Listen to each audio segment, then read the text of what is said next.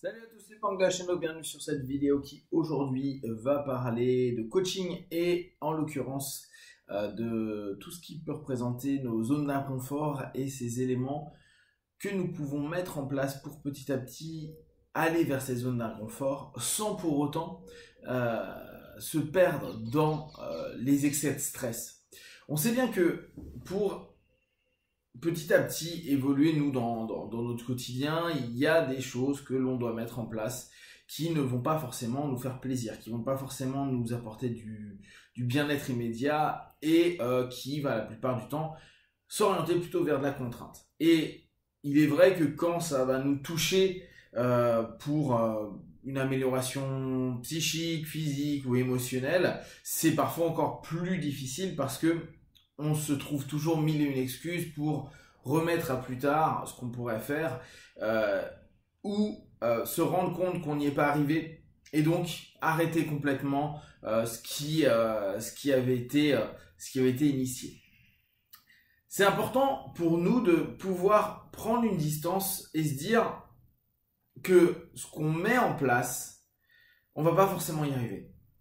Que ce que l'on met en place, on va pas forcément même euh, prendre plaisir à. On va se retrouver dans des, dans des conditions, on va se retrouver dans des, des moments qui vont être complexes à aller gérer physiquement, émotionnellement, intellectuellement.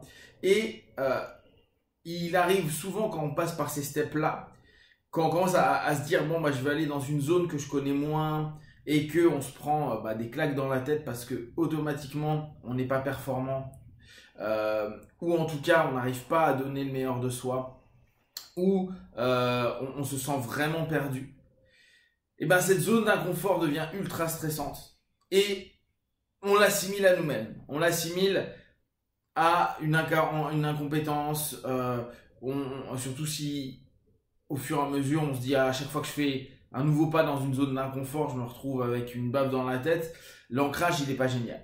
On a quelque chose qui fait, ouais, mais non, je vais rester là où je suis, parce que même si c'est pas toujours super agréable, au moins je connais bien, et puis j'ai moins mal que cette sensation nouvelle qui arrive, qui me stresse, qui me met mal, qui euh, me diminue encore davantage et qui, à la place d'être un, élément révélateur positif pour moi, devient quelque chose qui va m'écraser ou en tout cas va me sembler comme écrasant.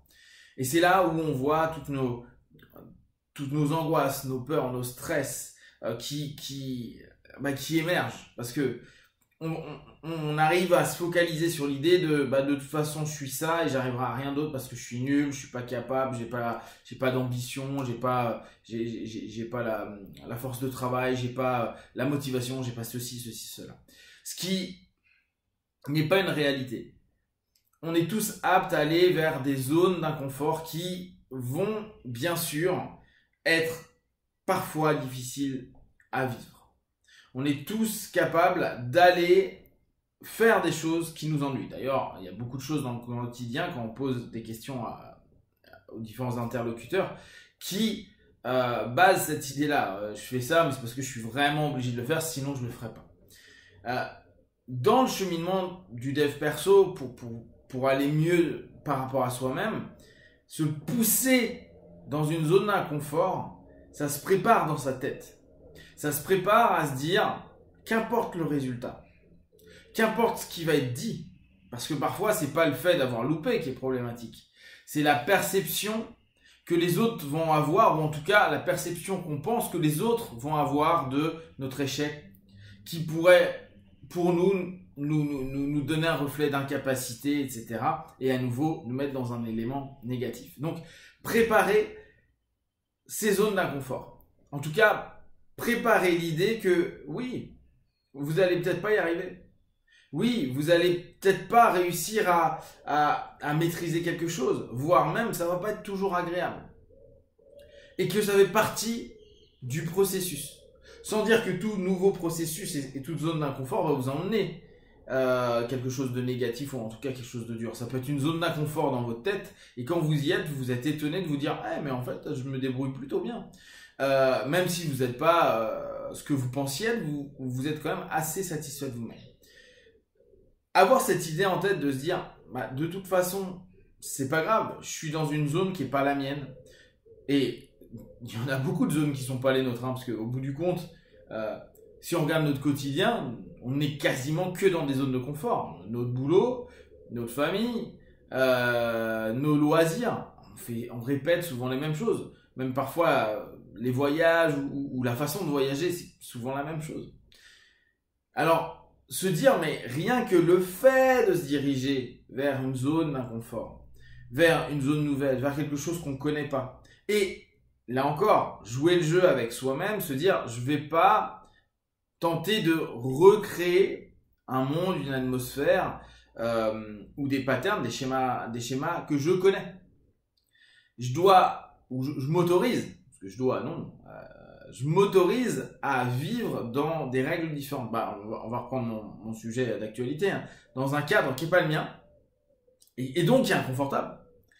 Et je suis prêt à vivre ce cadre-là avec les feedbacks qui pourront m'être difficiles au départ parce que c'est j'ai pas d'expertise.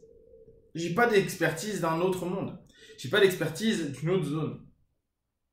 Et euh, être prêt simplement à prendre ça comme, bah, j'allais dire comme un enfant, mais l'enfant peut très très mal le prendre aussi, mais euh, avec cette espèce de, recul et limite de façon ludique. On a parfois notre ego qui dit euh, le lieu ou la, personne ou les professeurs ou autres vont vous recadrer, dire quelque chose, maintenant ça ce que tu fais c'est pas bien. Ou euh, là tu n'y arriveras jamais parce que blablabla, bla, tu devrais plutôt faire ça. Et on entend ça comme une espèce de, bah, de, de, méga baffe par rapport à ce que l'on est, ce que l'on connaît déjà ou ce qu'on l'on a déjà mis en pratique. Et ce qui est intéressant, c'est d'aller se dire, non mais c'est pas grave, ça n'a pas d'importance. Et ça n'a réellement pas d'importance. Parce que, aussi bien si vous restez à développer dans cette zone d'inconfort, admettons que vous commencez une nouvelle activité, un nouveau boulot, etc., bah, vous savez que jour après jour, vous allez être de plus en plus confortable parce que vous allez connaître les codes, les façons de fonctionner, euh, les différents process, vous allez les assimiler, vous allez les mettre en pratique, etc. Donc, euh, aussi bien si vous voulez rester dans cette zone d'inconfort, bah, tout ce qui va être dit, c'est juste de l'info et euh, la personne peut estimer que vous n'êtes pas compétente ou que vous pouvez croire qu'elle pense que vous n'êtes pas compétente parce que vous répondez pas à son cadre.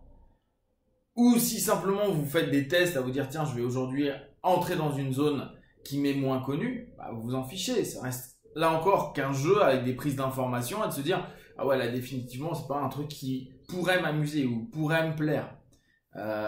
Euh, moi, si j'allais danser, euh, rien d'y penser, je suis mort de rire. Euh, en termes de zone d'inconfort, je pense que bah déjà, si je broie pas mon partenaire, ma partenaire, c'est que déjà j'aurais de la chance. Mais alors tout ce que j'entendrais comme feedback, ça pourrait être que à se dire bah ouais d'accord, ok, je, vais apprendre et, prendre du, du, plaisir à se dire bah ouais mais c'est vrai, je connais pas. Mon ego il a pas à être là le problème, c'est que notre ego est souvent là.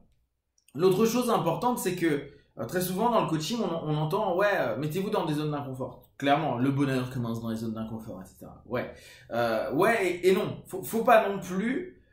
bien sûr, il hein, faut s'y diriger, mais le problème, c'est qu'il faut pas que ça devienne une espèce de mécanisme de pattern qui amène du stress.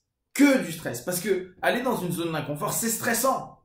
C'est stressant parce que bah, on revient notre incompétence, le fait que euh, on nous fasse remarquer qu'on sache pas, et notre ego il aime pas ça, et puis euh, le, fait que bah ça fait peur parce qu'on anticipe, parce qu'on veut bien faire et qu'on se rend compte que bah c'est pas forcément, euh, ça donne pas les résultats escomptés, et l'excès de stress pourrait au contraire s'ancrer en nous et se dire bon bah, laisse tomber là clairement je ferai jamais rien de nouveau dans ma vie. Alors que si on le fait par de façon sporadique et de se dire tiens bah là en fait euh, j'étais plutôt bien pas trop stressé bah j'ai eu le stress de départ mais au fur et à mesure je me suis laissé aller etc etc bah ça va te pousser à en faire d'autres. Et si à un moment je vois que je suis trop dans un cumul de stress important bah une fois que la session est finie une fois que euh, euh, l'expérience est terminée on prend un temps pour nous le temps qu'il faut avant de relancer la machine pour aller à nouveau dans une zone d'inconfort. Prenez simplement du temps et préparer vos passages dans les zones d'inconfort pour vous permettre de profiter au mieux de cette expérience que vous allez mettre en place. Si vous avez des questions et des remarques, vous partagez sur Facebook, YouTube, j'y répondrai le plus rapidement possible. Et comme d'habitude, de tout ce que je propose, ne prenez que ce qui est bon et juste pour vous. Testez, observez, analysez et concluez. Be one, ciao